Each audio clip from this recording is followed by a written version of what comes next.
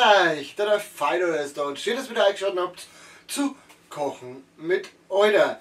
Heute machen wir weiter, lang ist her, dass wir es gemacht haben, aber wir machen weiter im inoffiziellen The Witcher Kochbuch. Wir haben uns ein deftiges Mahl ausgesucht und wir werden jetzt einen Schweinerollbraten mit Äpfeln machen. Was wir laut Rezept dafür brauchen, schauen wir uns jetzt so. Laut Rezept brauchen wir für, den Schweinerollbraten mit Äpfeln einen äh, Schweinerollbraten. Ja, das äh, Problem ist, dass äh, sie vorschlagen, einen Schweinenacken zu nehmen. Ein Schweinenacken ist kein Rollbraten, ein Schweinenacken ist ein Schweinenacken. Ich würde einen Schweinerücken empfehlen, lässt sich schön rollen. Ich habe jetzt tatsächlich einen Schweinenacken gekauft und habe mir den einfach mal zurechtgebunden, sodass zumindest ein bisschen ausschaut wie ein Rollbraten. Davon circa 1,5 Kilogramm. Solltet ihr keinen äh, Bratengarn oder sowas haben, dann lasst es euch vom Metzger rollen, das geht ab. Am besten aber, ihr bestellt es vor. Vielen lieben Dank übrigens für dieses wunderbare Stück Fleisch an die Metzgerei Bichler. Nein, ich bekomme kein Geld dafür, ich wollte es einfach mal gesagt haben. Dann benötigen wir einen Esslöffel Senf, wir benötigen 5 Esslöffel Honig, eine Brise Majoran getrocknet, Dazu kommt etwas Blumenöl, äh, etwas äh, Pflanzenöl. Da habe ich noch ein Rapsöl hier rumstehen, was wir benutzen können. Wir benötigen 250 Milliliter dunkles Bier, finde ich übrigens sehr gut. Das heißt, die andere Hälfte gehört mir. Dazu kommt etwas Butter in äh, Zimmertemperatur. Pi mal Daumen auch einen Esslöffel und vier Äpfel. Nun für die gewissenhaften Zuschauer. Ja, ich bin hochgradiger Apfelallergiker. Das bedeutet aber nicht, dass ich, wenn ich einmal kurz am Apfel schnuppe oder hineinbeiße, sofort tot umfallen werde. Ich weiß, was ich hier tue. Ich bin für mich selbst verantwortlich. Solltet ihr Gäste haben, die euch von vornherein sagen, ich bin gegen Äpfel allergisch, dann tut halt keine Äpfel mehr. Ich bin für mich selbst verantwortlich, ich mache das selber. Außerdem sitzt meine Frau drüben und die weiß ganz genau, was passiert, wenn es da Höhlen schimmert. Und jetzt fangen wir mit Schritt 1 an, und zwar dem Vorbereiten des Bratens. Im ersten Schritt machen wir eine Marinade. Und zwar besteht diese Marinade aus, fünf, äh, aus drei Esslöffeln Honig. Entschuldigung.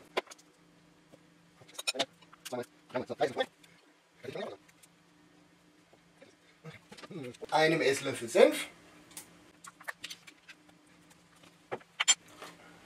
Dem Majoran. Und das Ganze wird jetzt schön miteinander vermengt. So klebrig wie es ist. So flüssig wird es auch durch den Senf, dass wir das Zeug dann gut verstreichen können. Das Ganze schmieren wir jetzt auf unseren Braten.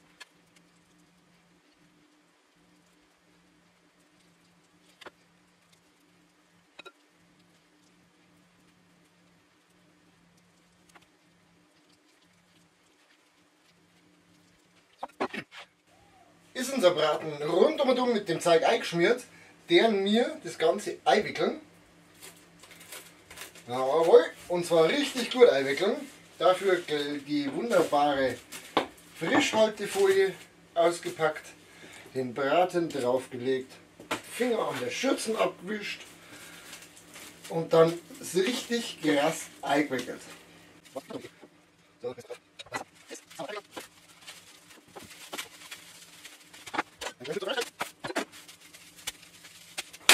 Und dieses Paket lege ich jetzt für 12 Stunden in den Kühlschrank. Das heißt, wir sehen uns morgen wieder, denn ich mache das über Nacht. Ja, äh, und dann schauen wir weiter. Dann morgen.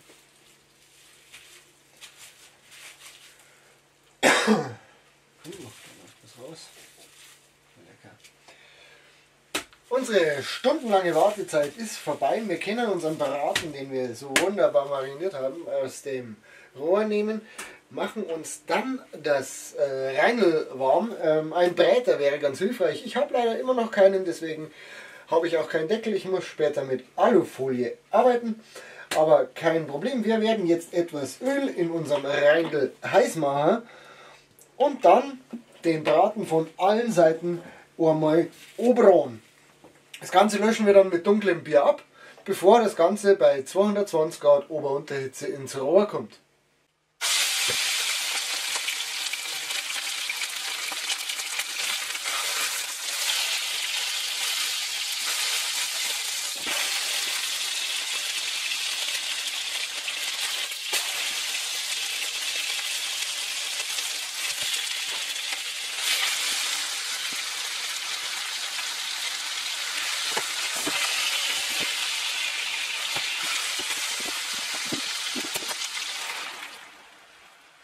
Schon, ich habe gesagt 250 Milliliter Bier. Aber wenn ich eine Flasche aufmache, nutze ich es auch ganz.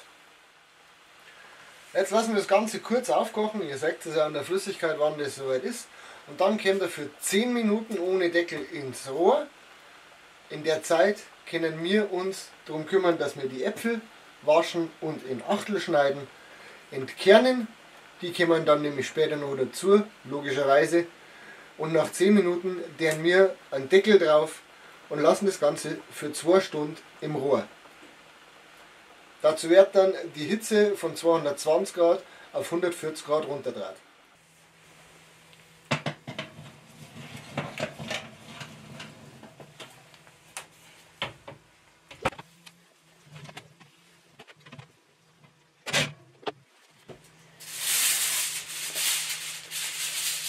Jetzt kommt ein Deckel drauf und wir werden das Ganze für weitere zwei Stunden im Rohr lassen. Nach eineinhalb Stunden kommen die Äpfel dazu.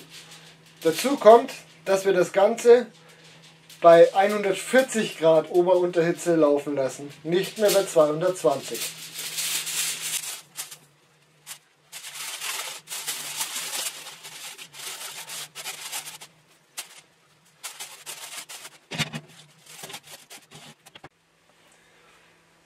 Wenn unser Braten im Rohr ist, können wir uns um die Äpfel kümmern. Das heißt, wir nehmen den Strunk raus, schneiden uns die Äpfel in Achtel und entkernen sie. Danach werden wir sie mit Butter und Honig beschmieren und dann kommen sie mit zum Braten. Für die letzte halbe Stunde ungefähr.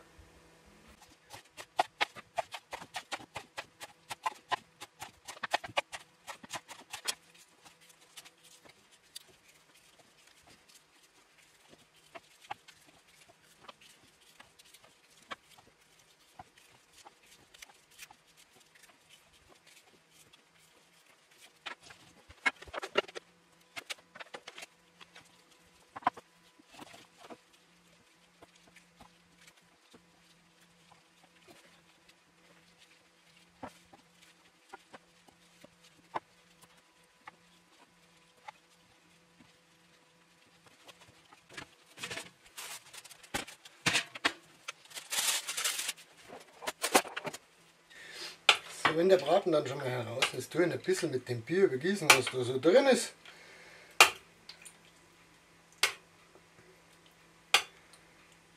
Ich finde, das Ganze macht auch schon ein ganz ordentliches Bild. Jetzt packen wir die Äpfel dazu, stellen ihn für die letzte halbe Stunde nochmal ins Rohr, dann können wir essen. Ich persönlich mache noch Kartoffelknödel dazu, damit es sich lohnt. So.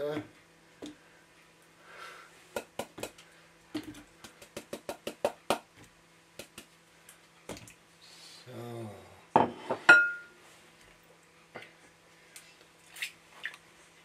Ich freue mich aufs Essen. Kann eigentlich fast nur gut werden.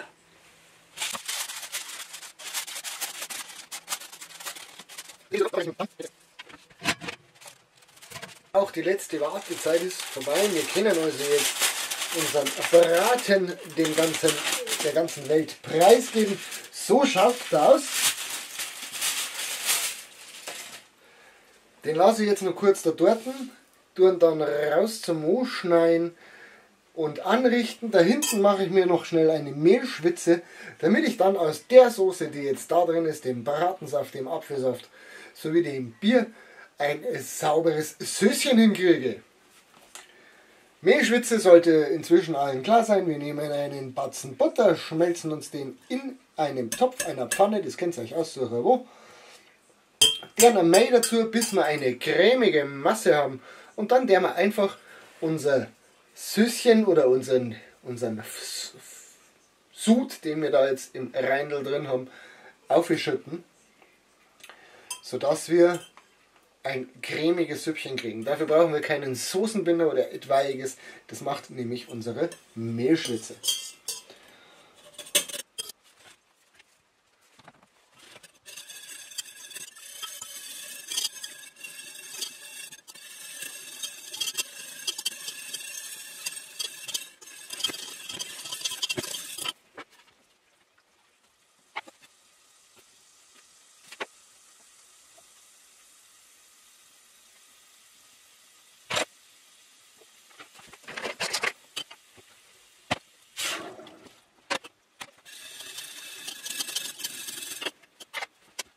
Es ist alles fertig. Wir müssen nur noch anrichten, dann können wir uns durchprobieren, bewerten und meine Frau und ich können essen.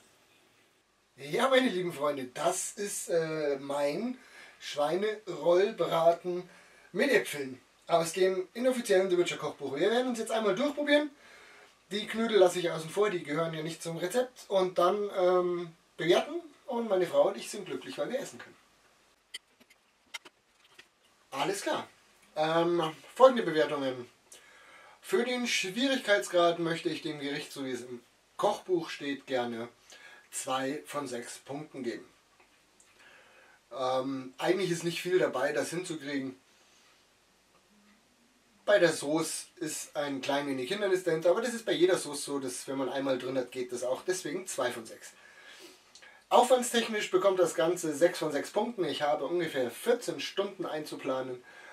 Ähm, und das ist nur die Zeit äh, Ofen- und Wartezeit. Dann kommt noch die ganze Bearbeitung dazu. Also sind wir wahrscheinlich eher bei 16 Stunden. Und das ist dann doch ein ordentlicher Aufwand für ein solches Essen. Wobei ich sagen muss, ein Braten dauert halt seine Zeit. Ähm, geschmacklich. Es mag vielleicht an meiner Apfelallergie liegen. Also mit den Äpfeln kann ich gar nichts anfangen. Die sind super geschmacksneutral, die haben keinen Biss. Da ist so. Puh, weiß ich nicht. Ja? Vielleicht äh, merke ich noch nicht mal, dass ich Äpfel esse heute. Mal sehen. Die Soße, es fehlt hinten und vorne Salz. Da ist nichts dran. Wir haben aber auch nichts rein. Mich wundert es nicht, dass das fehlt. Ähm, ja, es ist eine Biersoße. Äh, Bier ist das ist ein gutes Bier, was ich damit reingeschüttet habe, aber das reißt es nicht raus. Das Fleisch, es ist zart, es ist saftig, das ist äh, ein gutes Stück Fleisch geworden, aber auch da fehlt es mir einfach an Geschmack. Auch der Honig, von dem ich mir einen gewissen süßen Kick erwartet habe, der kommt bei mir nicht an. Ich finde es sehr, sehr schade. Das heißt für mich, dass ich leider aus diesem Stück Fleisch hätte was Besseres machen können. Ich möchte dem Ganzen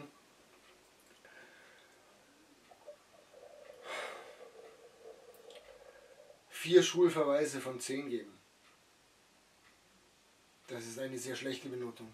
So eine schlechte Note gebe ich ganz selten, weil meistens äh, lobe ich mich selber dafür, was ich gemacht habe. Aber das kommt über die vier Punkte nicht hinaus. Ich persönlich werde es nicht nochmal so machen. Ich bleibe bei meinem bayerischen Schweinebraten. Da weiß ich, was ich habe, da weiß ich, was ich kann.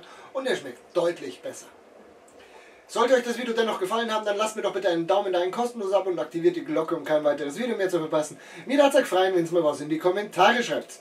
Und wenn es nur schreibt, seid, der ist schon so dumm und macht seine Schweinebraten so. Sei dahingestellt. Wir sehen uns das nächste Mal wieder, wenn es wieder heißt, kochen mit Euler und bis dahin, bleibt gesund, werdet gesund und genießt euer Leben, weil es habt, was ihr sonst. Pfiat euch und Papa. Ah ja, der Feider.